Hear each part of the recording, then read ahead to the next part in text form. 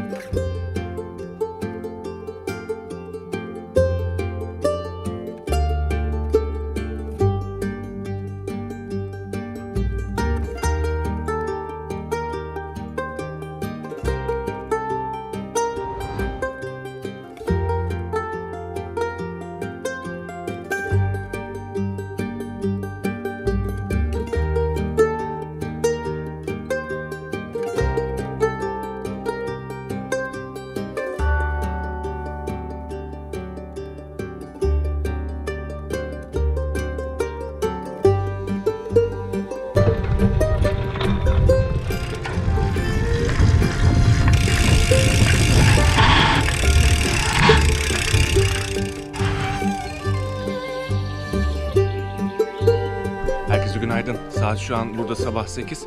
Çantaları toparlıyorum. Ondan sonra çadırı toparlayacağım bir de. Sonrasında da yola çıkıyorum. Çantaları bisiklete astıktan sonra da Kıyıköy'e doğru yola çıkacağım.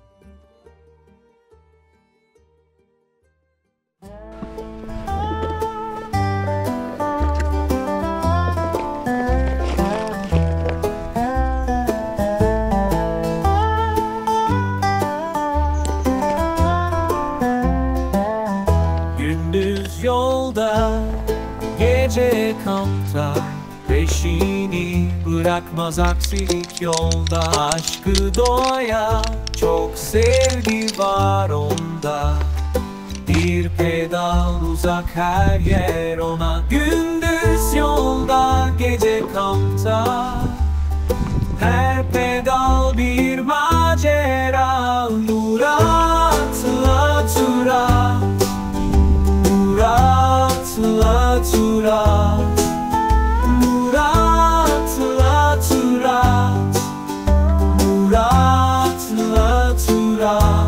Murat'la Turat.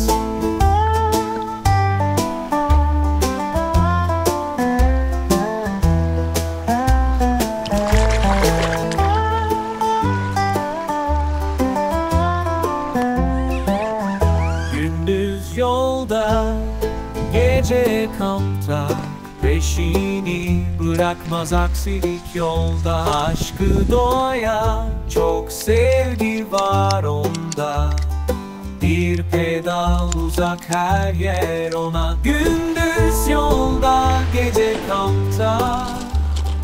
Her pedal bir macera Murat'la Turat Murat'la Turat Murat'la Turat Murat'la Turat Murat'la Turat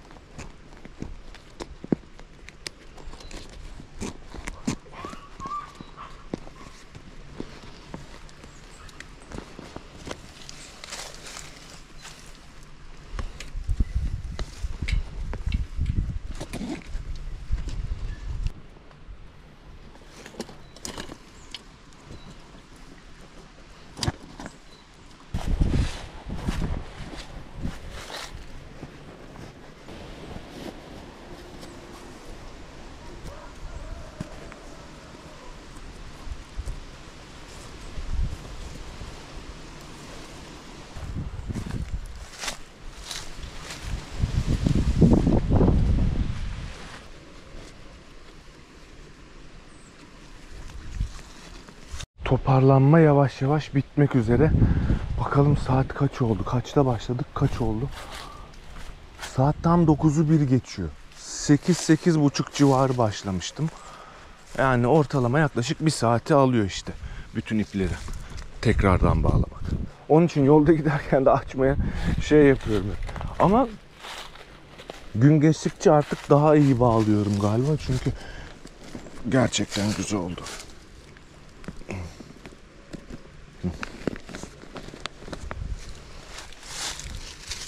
Daha dengeli olduğunu hissedebiliyorum. İçimden bir ses bugün veya yarın balık tutabileceğimi söylüyor. Ve yola çıkmaya hazırız. Her şey tamam. Hadi bakalım. Şimdi Kıyıköy'e doğru pedallıyoruz. Aha. Biraz uyku sersemi. Düşüyorum. Aman. Huh. Dün gece tam benim çadırım bölgesi bir köpeğin havlama bölgesiydi anasını satayım. Köpeklerin hepsi havlıyor. Bir tanesi geliyor hırlıya hırlıya benim çadırın dibinden diğerlerini havlıyor. Her geldiğinde uyandım. Aa böyle havada duracak neredeyse bisiklet tutanması ha. Neyse şimdi şöyle yapalım. Yok buraya yaslayamam.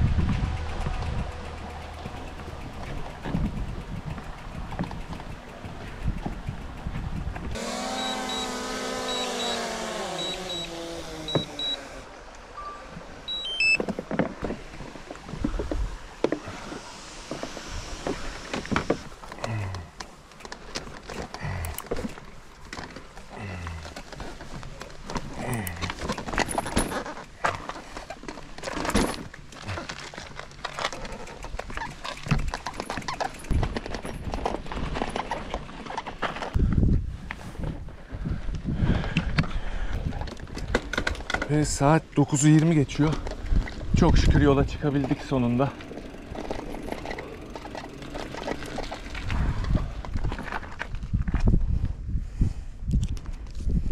Kahvaltı etmedim. Yolun üstünde bir yerde kahvaltı edeceğim. De çünkü orada elektriği kullanmak istiyorum. Bir Şarj edeceğim bazı şeylerimi. Dün çok uyuyamadım ya. Biraz hafif bir uyku sersemliği var üzerimde ama kahvaltıdan sonra yola ilerledikçe eminim o da geçecektir. tam e, köpekler hani birbirlerine havlar ya bir tanesi havlar diğeri de sonra havlamaya başlar. Onun gibi uzakta bir tane köpek var birisinin bahçesinde. Havlıyor. Onun havladığını duyan başka bir sokak köpeği tam da benim çadırımı kurduğum yerden onunla havlamaya konuşmaya geliyor. hırlıyor hırlıyor koşuyor koşuyor çadırımın dibinde hov hov hov hov hov havlıyor ona. Ne zaman susarlarsa susuyor gidiyorlar sonra.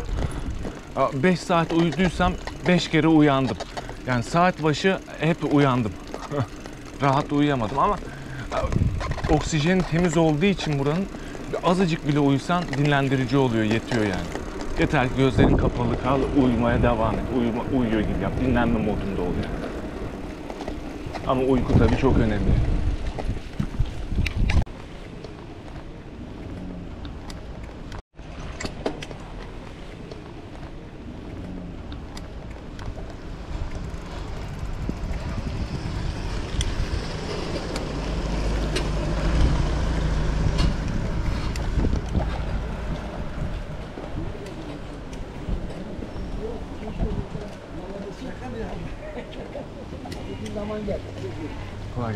Olasın. Günaydın. Hoş geldin. Günaydın abi. Uyanamayanlar da bugün. 10 kilometre ötede bir tane at çiftliği varmış. Kahvaltı için güzele benziyor yani tam emin değilim ama en yakında o var çünkü. Şimdi 13 kilometre oraya gidiyorum işte orada kahvaltı edeceğim. Çünkü çantaları da bağladım artık. Hiç uğraşamam tekrar onları açıp ocakla yumurta yapacağım falan. Şu anda kahvaltı için yanımda sadece yumurta ve zeytin var. O da yani yetmeyecek gibi geliyor bana. Onun için hem de şarj ihtiyaçlarımı da giderebileceğim için adam akıllı oturup bir yerde kahvaltı etmek istiyorum. Beslenmek çok önemli gücümüzü toparlayabilmek için. Yani normalde olsaydı şimdi burada aslında bir yerlerden hani marketten bir şeyler alacaktım. Atıştıracaktım. Ama normali olmadı işte.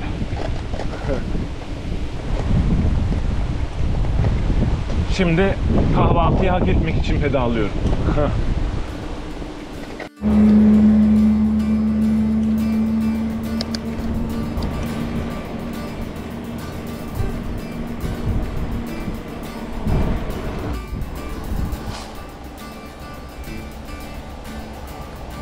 Uf, şurada bir yer çok iyi.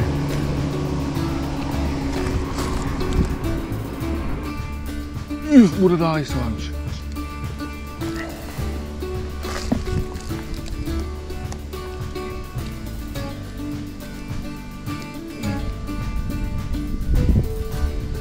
Şunlara bak.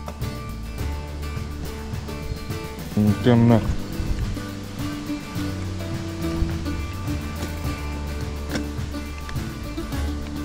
İyi yolluk enerji almış olduk. Aslında benim zeytin kutusunu boşaltıp hepsine ahududumu toplasam, böğürtlenme toplasam böyle. Düşünmüyor değilim valla. Düşünüyorum. Düşünüyorum ama cevabı bulamıyorum.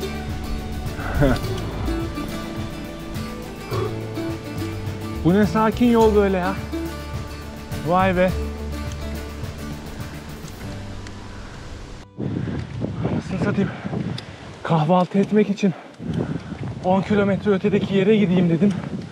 Saat 10'u çeyrek geçti. Tüm yol yokuşmuş. Hep böyle gidiyor. Onu çeyrek geçti hala tırmanıyorum. Hala tırmanıyorum. Viraj geliyor. Her virajın ardında umarım bitmiştir diye bakıyorum ama daha da çıkıyor. Daha da açısı yükseliyor. Dikleşiyor. Ve ektiğimizi biçmeye geldik. Buraya kadar hep tırmandık. Şimdisi yokuş aşağı. Umarım yolun sonuna kadar 9 kilometre boyunca böyle giderim de of var ya serinliğe serinliğe. Şu an sıcaktan pişiyorum. Oh, totom da ağrımaya başladı. Bir saygı duruşu yapalım Toto'ya. Oh. Toto'ya saygı 2 dakika. Dıttırdı dı dıttırdı dı. Dıttırdı. İ. İ i. Roadrunner. Uh. Çok güzel. Oh be, totom da rahatladı. Serinliyorum da. Vay.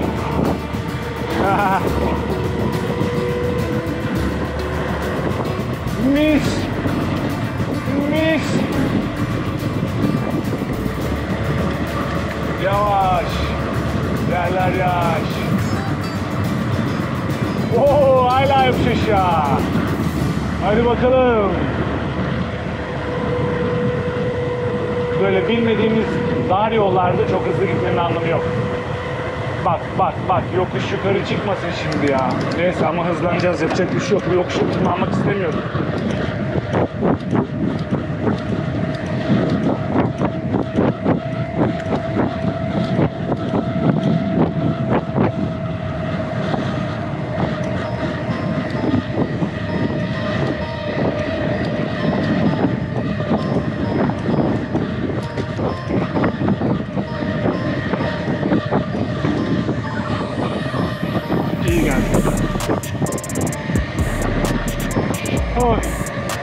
Hız sınırını geçmişim. Heh, 30 diyor ben 37 ile geçtim onu. Ceza gelmesin şimdi. Bak yokuş çalışması yapıyorlar herhalde. Ay. Abim bana dikkat et abim. Abim dikkat abim. Geçebilir miyim? Kolay gelsin.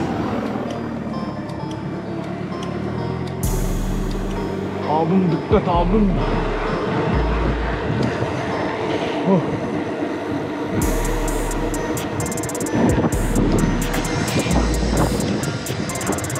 Mükemmel. Oğlum bu yol yokuş yukarı gözüküyor ama yokuş aşağı gibi gidiyor anlamadım. Ah, Göz yanılması var galiba bu yolda. Veya düz burası. İkisinden biri. Oh.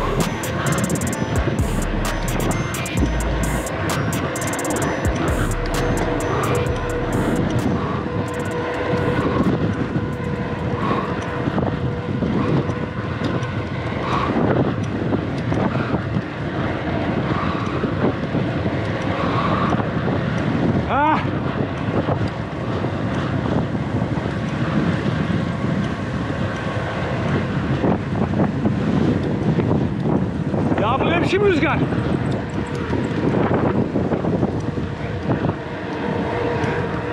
Yana kayıyorum.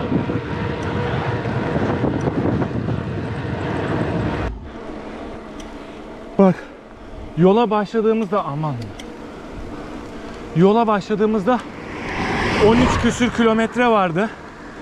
Şimdi az önce onu 10 geçiyor muydu? Onu çeyrek geçiyor muydu? Neydi? Açmıştım ya bir bakmıştım. 9 kilometre ve birazcık altı demiştim. Şimdi saat 10'u 20 geçiyor. O yokuş aşağı yol. Azıcık bir yokuş aşağıydı. 6 kilometremiz kalmış ya. 6.2 idi işte ben açtığımda bu. Uh. Yani bu kadar bir, bir buçuk saatte geldiğim yeri 10 dakikada geçtik. Yokuş aşağıda. Benim artık bence kahvaltıya değil, daha fazlasına ihtiyacım var ha. Oh. Neyse bir kahvaltımızı edelim, kahvemizi içelim de tek istediğim o ya.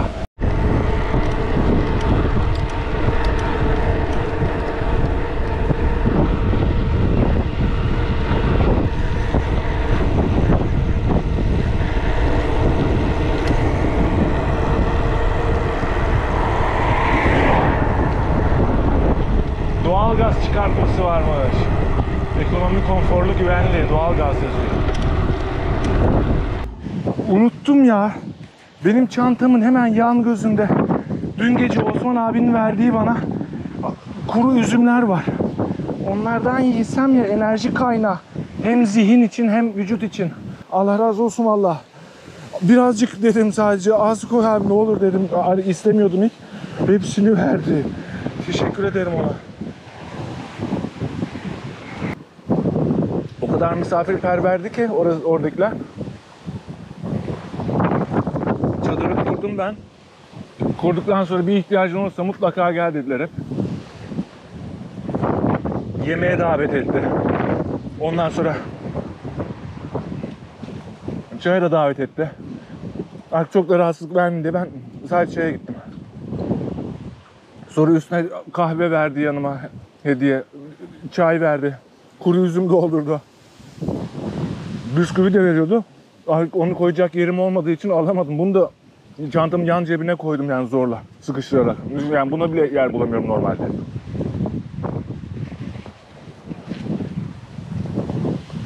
Oh be. Vallahi kendime getirtti beni. Hmm. Hmm. Kahvaltıya mahvaltıya gitmemden İğneada'ya gidiyorum ben hadi.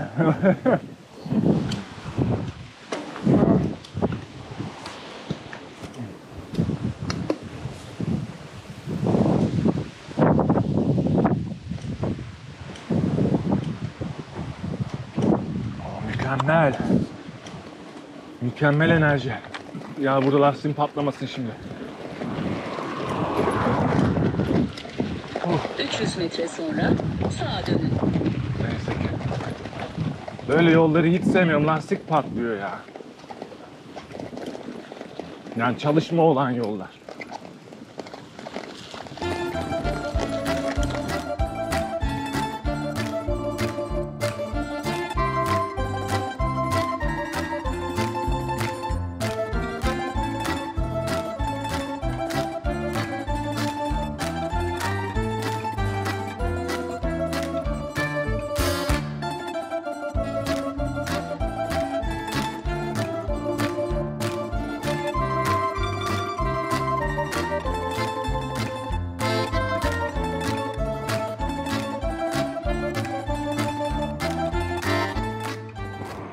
Ulan bir tane tır geçti yanımdan az önce. Korna çaldı, selam dedim. Arkadan bir böyle çakıl taşları döküldü yüzüme. Öf, anlatamam. Ödüm koptu. Allah'tan düşmedim yani kaza yapmadım. Yanımdan da olsa da araba solladım be salak gibi. Çok, çok değişik bir evreydi yani. 200 metre sonra sola dönün. Gözlerim kapandı anasını satayım. Dedim böyle. Baktım solumdan da araba geçiyor. Aa dedik. Şans eseri. Oh be. Geldik.